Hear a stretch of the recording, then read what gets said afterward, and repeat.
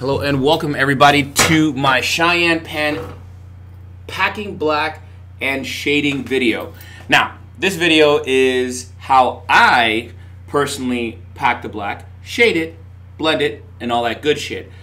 Now, before I begin, I want you guys to know that this is all based on my own personal experience. Everyone has their own journey. This is just mine. So, if you have a difference of opinion in a negative light, please promptly suck a very hard dick and fuck everything you believe in. So, again, this is all opinion based on my own experience and knowledge thus far.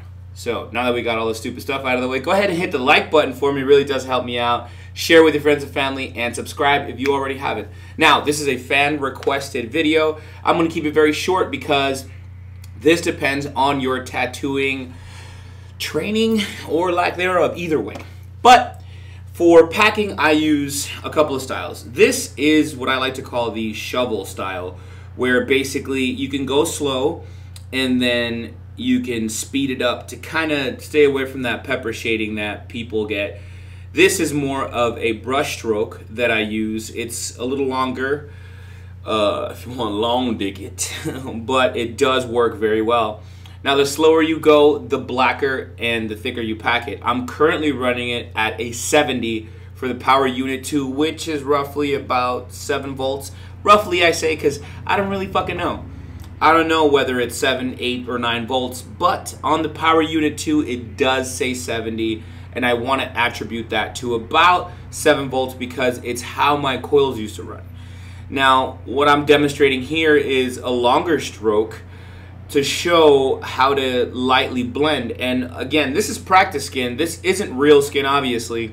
So it's going to behave a little bit different, but it still does show that gradation as you kind of whip it out.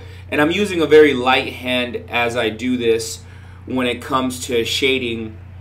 And I do go very slow when I want it to be a little bit blacker. But when I do want it to be a little bit lighter, I do move my hands a little bit faster. But again, this is all within my comfort zone, what I have picked up over the years, things I have learned and um, from other artists and being critiqued. And obviously we all, um, whom want to be better, will grow from getting critiqued, which I definitely, um, you know, suggest you do.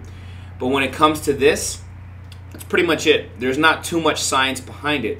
If you want that nice, uh, that nice black, you can either do the figure eight, which I'm going to demonstrate here in a little bit, or you can do the whole circles because circles works great for packing. But for shading and for giving a nice smooth blend out, get a nice stretch on the skin, and then go ahead and just move your hand fairly quickly and you'll get this nice seamless blend out from your shading or at least that's what I have found that works best with the pen in my hand.